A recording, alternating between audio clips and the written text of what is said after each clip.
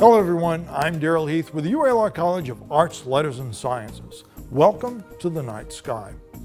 If you are considering buying a telescope for the first time, my advice to you is don't. At least not until you've done your homework and then carefully considered all of your options.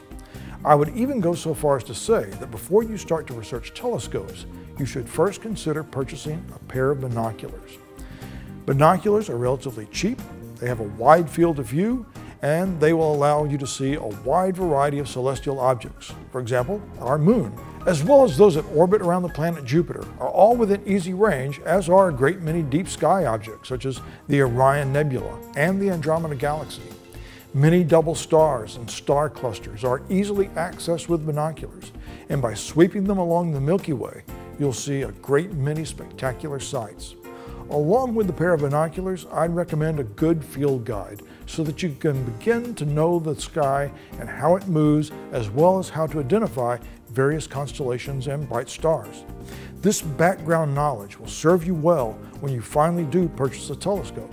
And should you decide that amateur astronomy is not right for you, then you're not out a lot of money and you can then use those binoculars for nature watching or for use at concerts and sporting events. Plus, even if you do go on to buy that telescope, you will still find that a pair of binoculars are a very useful bit of supplemental gear. I always keep a pair handy with me when I'm out observing, and I use them on a regular basis. Assuming that you followed my advice and are now ready for a telescope, what should you buy? Astronomers get asked this question a lot, and a friend of mine often says that the question is kind of like asking someone, what kind of car should I drive? There are a lot of things you need to take into consideration. Things like, what do you intend to do with the scope? Are you just interested in viewing the moon and planets, or do you also want to observe deep sky objects? What kind of budget do you have? Do you want something that's easy to use, or are you comfortable working with complicated electronics? And there are questions that you probably haven't even considered yet, like portability. Is the scope you want to buy one that you can easily pick up and carry outside? Or if you have to drive to a good observing location, will it fit inside your vehicle? In this episode, I'll introduce you to some telescope basics, and hopefully it'll be of use to you when making the decision as to what kind of scope to buy. So what's the most important factor you need to consider when looking for a telescope? If your first thought is magnification, then sorry, that's not the correct answer. You need to steer well clear of any telescopes being sold based upon its magnification virtues in particular. One of the most important features of any telescope is that of aperture. And the larger the aperture, the more light gathering power your telescope will have. What does this mean for you? Well, with more light gathering power, the better celestial objects will appear through your telescope. A bigger aperture means that objects will appear brighter and clearer than they will in many smaller aperture scopes. But don't succumb to aperture fever. Remember what I said about portability earlier? This is where you need to stop and consider if the scope you buy is one that you can carry around to transport to another site. And with an increase in aperture, there's a corresponding increase in price. So your budget will also be a big factor. As to what aperture is optimal for you, the answer will depend on the type of telescope you wish to buy. Telescopes come in three basic types, and each uses a different optical design for collecting light and then making that light available to your eye as a clear and distinct image. The first kind of telescope we'll consider, and indeed the very first kind of telescope ever built back in 1608 by the Dutch spectacle maker Hans Lippershey, is called a refractor. This is the kind of scope most people think of when they hear the word telescope. At their most basic, refractors are a simple, closed tube with a lens at one end for collecting light. This is called the objective. And then focusing that light down at the other end, where the eyepiece goes, and then into a magnified and viewable image. Using glass for the objective has distinct advantages and disadvantages. And by the way, never buy a telescope that uses plastical parts, especially for the optics. The advantage of a refractor made with quality components are that they are low maintenance and generally provide you with sharp, clear images. These scopes are ideal for looking at the moon, planets, and some of the brighter deep sky objects. The disadvantages come from a problem that refractors have called chromatic aberration. The most basic type of refractor is called an achromatic, and it uses a two lens element for its objective. This is all well and good, but when you start to increase the aperture above 100 millimeters, that two lens element system begins to fail at being able to focus all of the incoming light into a single point. And this results in the chromatic aberration I just mentioned, where objects like the moon and planets will have a very distinct and very annoying blue or purple halo around them. Fortunately, this problem is solved with an apochromatic configuration that uses a special kind of glass with three elements rather than two and some very special lens coatings. Unfortunately, this means that the cost for a good apochromatic refractor goes up tremendously. Whereas a decent achromatic may cost you a few hundred dollars, a good apochromatic will likely run you a couple of thousand dollars or more. And that's just for the tube assembly. It doesn't include the mount, which we're going to look at in just a moment. A good bare minimum aperture for a refractor will be about 60 or 70 millimeters. The next type of telescope is called a reflector. And as the name suggests, it does not use glass lenses for the objective. It uses mirrors. These types of telescopes are often called Newtonians in honor of Sir Isaac Newton, who invented them back in 1668. The main light collecting mirror is called the primary. It's concave in shape and located at one end of an open tube. The primary mirror gathers light and then reflects it back up the tube to a secondary, smaller mirror suspended on thin vanes known as the spider. The secondary mirror then bounces that light off at a right angle to the tube and then into the eyepiece. As with any telescope, there are advantages and disadvantages to this design. The advantages are that the image is not prone to chromatic aberration. Because mirrors replace glass lenses, you can build much bigger telescopes, and for anyone on a very strict budget, reflectors can be made very cheaply. And you therefore get more bang for your buck with a reflector than you will from any other telescope type. In fact, you can even build a good Newtonian on your very own. But be warned, the primary mirror has to be curved to a very specific degree, and that can be both labor intensive and very tricky to do. The disadvantages are that reflectors tend to be larger and bulkier than a refractor, and are not always easy to transport. They can also be very high maintenance, especially with large apertures, as the mirrors will have to be realigned on occasion. Another advantage with a reflector is that you will have to let the mirror adjust to the outside air temperature before you can begin observing. This is a process that can take 20 minutes or more depending on the aperture of the scope. And finally, images will never be as clear and crisp as they are in a refractor. For a good Newtonian, I'd recommend an aperture of at least 6 inches. The cost for a basic 6-inch reflector will usually run you about 250 or $300. The third type of telescope is called a catadioptric, or Cassegrain, and it's a hybrid of the other two, so it uses both lenses and mirrors to form an image. Like the reflector, it uses a curved mirror at one end, and then a lens at the top known as the corrector plate, which corrects for any optical abnormalities. The tube system is all closed, unlike a reflector, and it's all very compact. This is a general all-purpose type of telescope and the complex light pathway inside the tube means it can be made much more compact than a reflector with similar aperture size.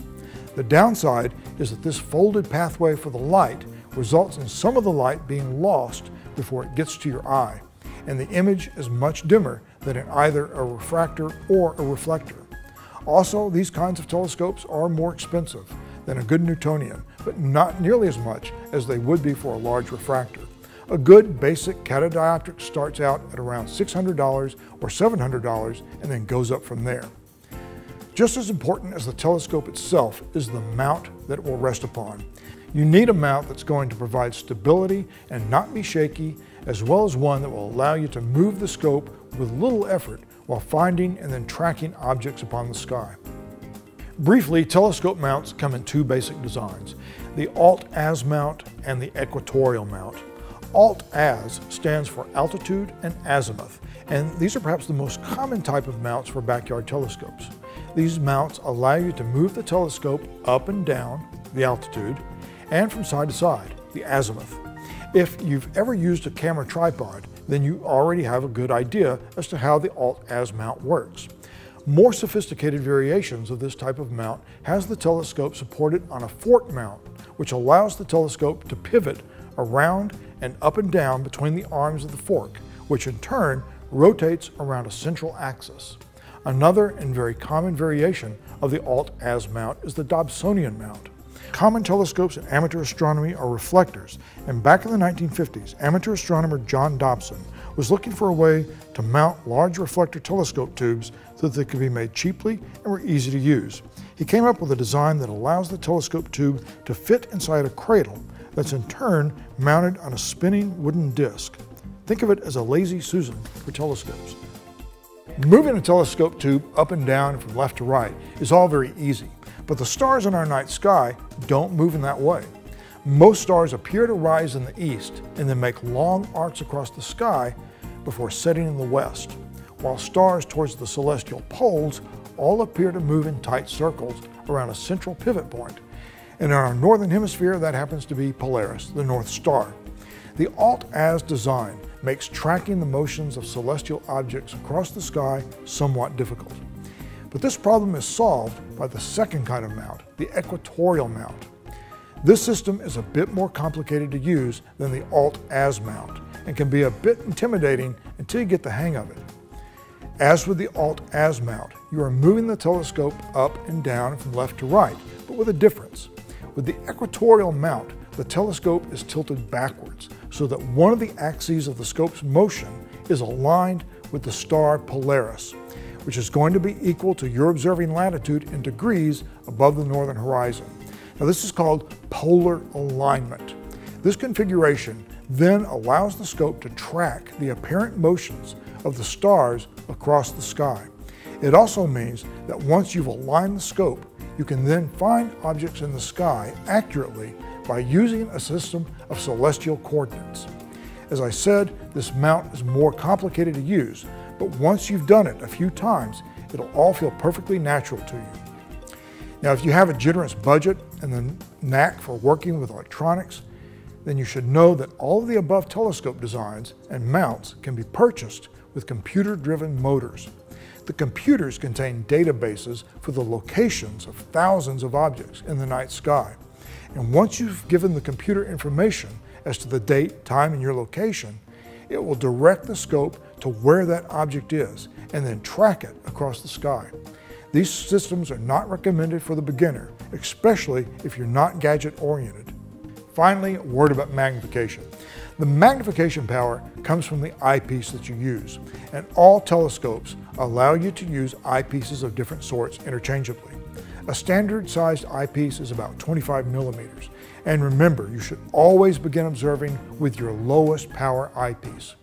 And the magnification that it or any other eyepiece will yield is determined by dividing the focal length of the telescope by the focal length of the eyepiece. Now focal length is just the distance between your mirror or lens and the point where the image is brought into focus. Each telescope will have the focal length of the tube clearly marked on it somewhere. So if you have a 25 millimeter eyepiece and your telescope tube has a focal length of 1000 millimeters, then that eyepiece will magnify an object 40 times. But keep in mind, your telescope's aperture is going to be firmly set by how much light you can gather, and no amount of magnification is going to change that. This means that as you increase the magnification, you are just spreading that light out over a much larger area and the object's brightness will decrease with an increase in magnification. All right, well there you have it. Some of the fundamentals you need to know before purchasing a telescope. I hope that helps, and just remember this old maxim in amateur astronomy. The best telescope is the one that you will use the most often. So weigh your options and then choose the scope that you think will be most comfortable to use. And also, don't be afraid to attend star parties and monthly club meetings put on by the Central Arkansas Astronomical Society in order to look over various kinds of telescopes and ask questions about them. And believe me, amateur astronomers love to talk about their telescope gear, and they'll be more than happy to field any questions that you might have. Before we go, I want to suggest two new books for your reading pleasure. The first book is The Scientific Secrets of Doctor Who by Simon Guerrier and astronomer Dr. Marek Kukula, as well as an assortment of various authors of Doctor Who fiction. Anyone who has ever seen an episode of the popular BBC science fiction series knows that the story writers play fast and loose with actual science. But this book takes a different approach. Essentially, it's a collection of short stories featuring our favorite Time Lord in his various incarnations as he travels across time and space in the TARDIS while engaging in all kinds of fantastic adventures. The difference is that the authors use real and theoretical science to underpin the stories. And after each story, the senior authors take the reader deeper into the science with a short and engaging essay. While this book is aimed at teens, I think anyone who has both an interest in science and the doctor will get a big kick out of it and anything that manages to make young people both enthusiastic about science and which also makes them stop and think about some pretty heady concepts all in one go gets a thumbs up from me. The second book is Welcome to the Universe by Neil deGrasse Tyson, Michael A. Strauss, and J. Richard Gott. These three gentlemen all team taught a course on the universe for non-science majors at Princeton University. They have taken their course notes and turned it into Welcome to the Universe. But this isn't a dry textbook.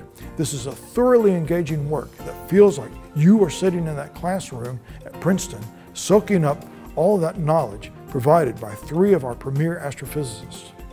From the life and death of stars, to the nature of black holes, to the beginning and end of the universe, and everything in between, this book will take you there. This is a great read for anyone with a curious mind and who wants to know more about how our universe works. Okay, that's all for now. Be sure to visit our website for all manner of astronomy content and information. And remember, take a little bit of time to step outside and look up in both awe and wonder.